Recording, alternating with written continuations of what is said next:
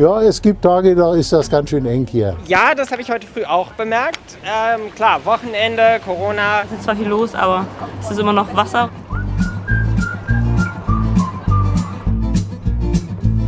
Klar, es ist immer noch Wasser. Aber nicht nur am Wasser, sondern auch darauf ist es in diesem Sommer ganz schön, na sagen wir mal, belebt.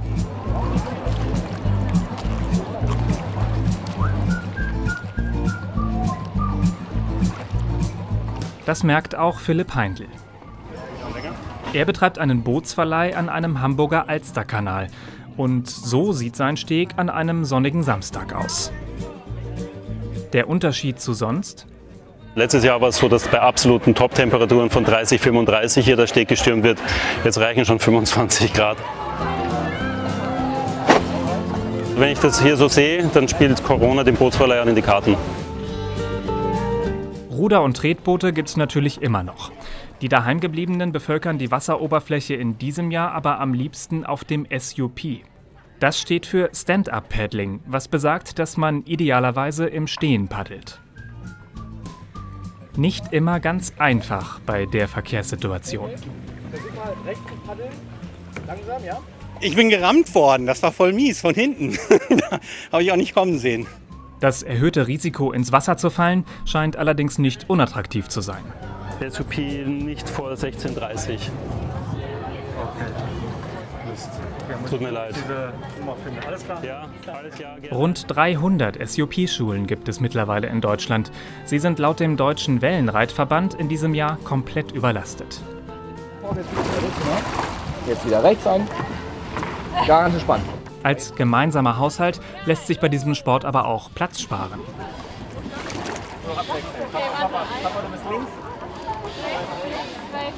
Die Alster hat auch nur eine gewisse Kapazität, also wir können gar nicht ohne Ende rausgehen, weil sonst können wir von einem Board oder von einem Kanu zum nächsten springen. Gut, springen ist auf dem Wasser eh keine so gute Idee. Stattdessen gibt es ja noch sowas wie eine Wasserstraßenverkehrsordnung. Ich denke, wenn alle sich einigermaßen an die Verkehrsregeln halten, ne? immer schön rechts, ausweichen der Personenschifffahrt, dann wird das schon gehen. Aber auch da gibt es Interpretationsspielraum. Rechts vor links und immer äh, schreien, wenn jemand im Weg ist, ne? Sowas in die Richtung. Es kann aber auch mal was Größeres im Weg sein. Denn auf der Alster verkehren immerhin auch 16 Ausflugsboote für Rundfahrten. Und die bekommen inzwischen manchmal so ihre Probleme. Man muss wirklich oft abbremsen, weil dann, wie gesagt, es sind viele Leute unterwegs, die das Boot dann auch nicht so 100% beherrschen. Da muss der Kapitän auch schon mal den Rückwärtsgang einlegen.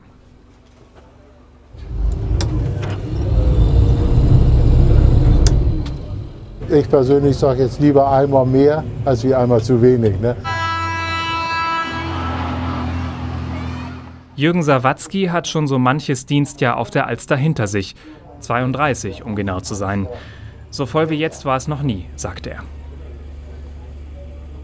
Diese Stand-Up-Paddler, das ist die letzten Jahre richtig explodiert. Die sind schnell und auch sehr wendig, diese kleinen Brettchen, da muss man höllisch aufpassen. Ne? Das ist echt äh, ja, einer der Hotspots hier. Voll ist es auch, weil immer mehr Freizeitsportler mit ihren eigenen Boards anreisen. Einsteigermodelle zum Aufpumpen für schmale 300 Euro gibt es neuerdings zuhauf bei Discountern und Baumärkten. Es bietet sich einfach an, weil man das schnell in den Rucksack packen kann, ins Auto oder auch in die Bahn geht das natürlich auch. Also es ist eigentlich ganz lustig, wie schnell das irgendwie plötzlich gegangen ist. Also vor, keine Ahnung, drei Jahren oder so war das bestimmt noch nicht so viel. Stimmt. Im vorigen Jahr wurden Schätzungen zufolge 120.000 SUP-Boards in Deutschland verkauft. 2020 waren es um die 200.000 allein im ersten Halbjahr. Noch kritischer wird es für die motorisierte Schifffahrt übrigens in den Abendstunden, wenn der Wassersport mit einer weiteren Freizeitaktivität kombiniert wird. Wir begrüßen natürlich auch unsere touristischen Freunde auf der Seeweg. Willkommen, willkommen in Hamburg. Je mehr Alkohol, je mutiger werden sie und dann kommt das da doch auch schon zu den Versuchen, dass sie dann die Alsterschiffe wirklich rammen wollen. Ja? Irgendwann hört der Spaß dann eben auch mal auf. Und was, wenn es nun die nächsten Jahre noch voller wird?